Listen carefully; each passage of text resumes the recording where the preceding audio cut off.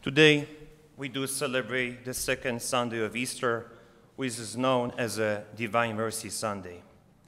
I was thinking what I'm going to share with you on this occasion. And I will start like this. When I was a small boy, I was so blessed to be born in the city of Krakow in Poland, where all of that stuff began. And I didn't know. I remember my parents, my brother, and myself walking many times by the shrine of divine mercy, the small one, not the big one which was built later, passing by that shrine without knowing that in few years to come it's going to become the world nation prayer to divine mercy of Jesus. We went for walk on Sundays, Fridays without knowing. Later, in 2016, when Bishop Różański, myself, and others went for, to Poland for World Youth Days with Pope Francis, our one of the stations was to stop at the Divine Mercy Shrine. At that time, smaller one and bigger one. It was so moving to see a lot of young people praying in the front of Divine Mercy picture and image. But what this whole Divine Mercy Sunday is all about it. We heard in the Gospel today. Thomas, called Didymus, one of the twelve, was not with them when Jesus came.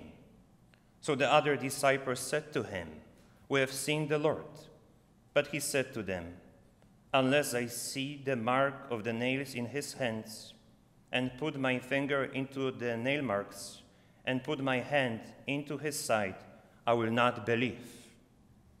Now, a week later, his disciples were again inside, and Thomas was with them.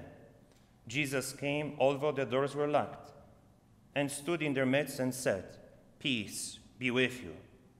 Then he said to Thomas, Put your finger here and see my hands, and bring your hand and put into my side, and do not be unbelieving, but believe. Message of the Divine Mercy Sunday it's about the second chance. To second chance to us to recognize Jesus and God Himself in our lives on our daily basis. Sometimes, probably like from my story, we're passing by the church, by the shrine, or by the opportunities to recognize God in our lives without knowing. That's the second chance. Divine Mercy Sunday shows us that Jesus appeared to, to Thomas to show to him his hands and his sight, and he asked him to believe in him. That's the opportunity for us to reflect on our lives during this Easter season, to see it where we can or should improve ourselves. Maybe sometimes we're passing by the person who needs our help at the grocery store. Maybe during this COVID 19, we see someone struggling with different kind of anxiety, of depression. Maybe we should call that person up and check on that person. Maybe in our relationship, in our families, between parents and children, and grandparents and grandchildren, wife and husband, maybe even something they're missing that we can improve. That's our second chance to recognize Jesus and his mercy in others. And most of all, our second chance to those, and it's a lot of people like that, we do not know why we believe. To turn to Jesus and say to him, It is hard for me to believe. I did suffer so much in my life. I don't know why. Ask Jesus himself and say, I do believe in you because you gave me a second chance to understand your message through the scripture, through the examples of others, and through my life and my exactly experience through the life. Second part of this is second chance to others. A lot of times we receive the second chance in our lives, but we are not giving that second chance to others. To those, they did something maybe not right to us, we turn away from them. We turn our back to them and we don't care sometimes what they do.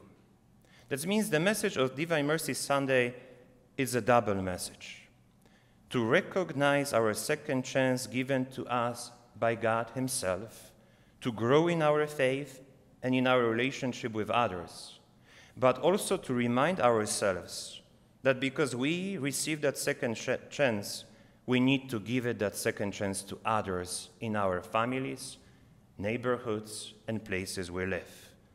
Everyone deserves a second chance. I do love the image of Jesus sitting on the bench with the man and just talking to him. We don't know what he's talking about. But on the end of this day, I truly encourage you to imagine yourself sitting next to Jesus on that bench and think about it. What kind of answer you are going to give to Jesus when he is going to ask you, I gave you a second chance. What did you do with those? They offended you, and maybe they were nice to you. To receive the mercy from God, we have to extend our mercy to others. Amen.